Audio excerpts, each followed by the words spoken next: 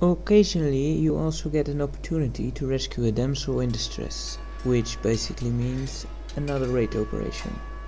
Once you've beaten both guards, you rescue her and of course make her yours right away. For the pixel porn freaks out there, the C64 version actually has a scene where the lady undresses.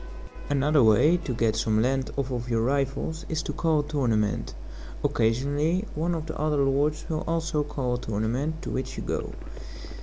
Unfortunately, the loading of this event is pretty long, since it goes through a bunch of screens that add very little to the experience and just get annoying after a while. This takes the fun right out of it.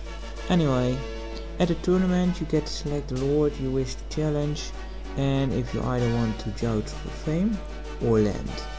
You have to point the lens at the cross on your opponent's shield after a while it gets easier but expect to go down your first few tries. The controls are decent enough. Once you know where to point the thing, it'll be easy to repeat it and gain some easy land this way. The opponent will always hit you if you don't hit him.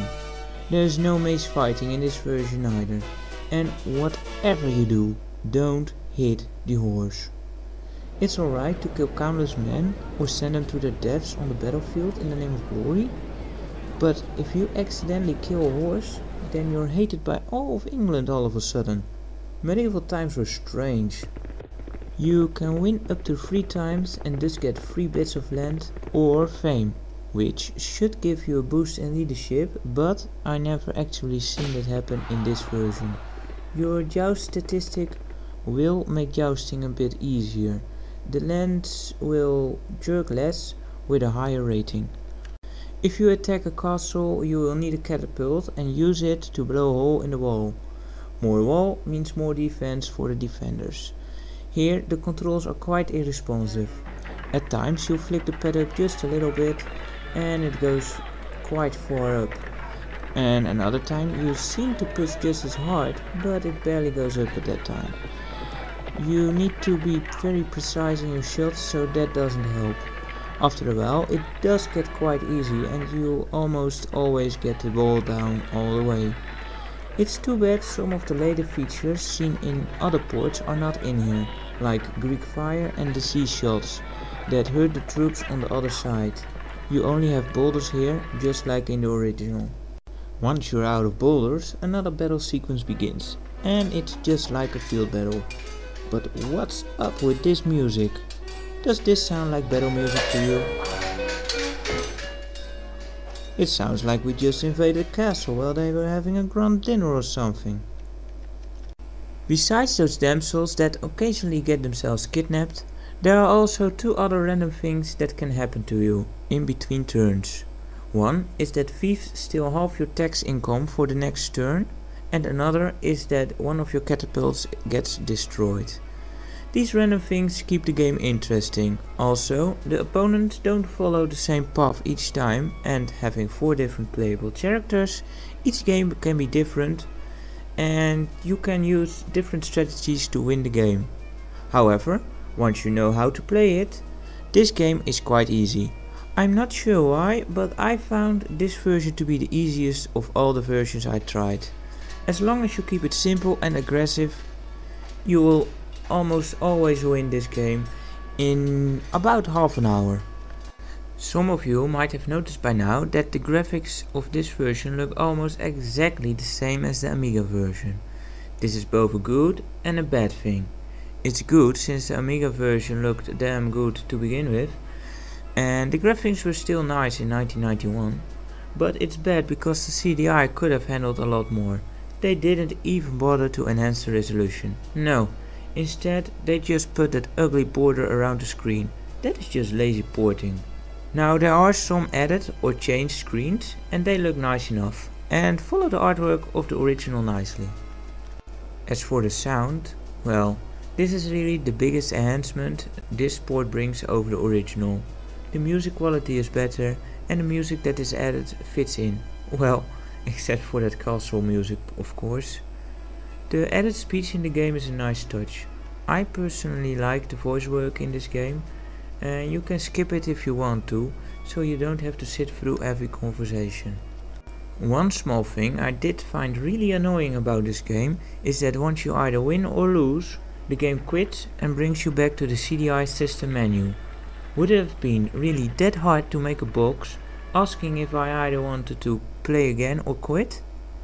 When I lose a game I might want to take revenge and play again, you know. But now I have to sit through the credits loading time and the startup loading times again. Well thanks a lot. Oh well, usually you end up winning anyway.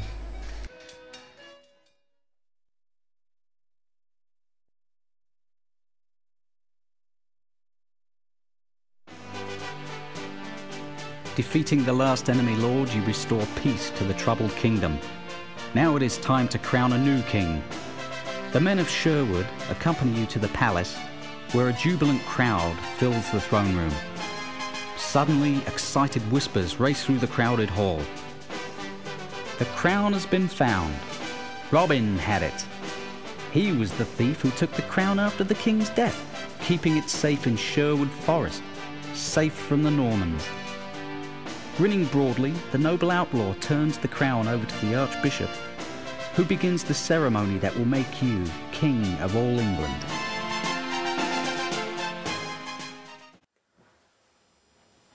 And welcome back. Well, just to recap this review, is Defender of the Crown a golden third for the CDI? No. It's not total crap neither, it's still a good game, but it's just too bad they did nothing else for the graphics. And it's too bad they did not put in any of the advanced features of later ports or even ports that came before the CDI version. Hell, they even put in bugs of the original Amiga version. I mean, why? That thing came out like five years before it, but oh well, it's it's still fun to play. So if you have a CDI sitting around, get it. It's pretty good. But if you have not, which most people don't, then maybe the, those other ports are way better choices. I mean, they may look ugly, but gameplay wise, they're still pretty fun. Um, you can even get those games for free now. Cinemaware put them for free, you can get even the NES ROM for free now. You can play it on the emulator, it's, it's cool, go get them. You can even find a flash version of this game on the Cinemaware website. I'll put a link under the video description so you can easily go there and check it out. Do it, it's cool. Now this will now this wraps up this week's review. Next week we'll be taking a look at another CDI title. I'm not sure which one yet. If you have any suggestions just send them in to halfblindgamer at gmail.com. And the same goes for all questions, remarks, feedback, tips, everything, dump it there. I love email, so go, go send them.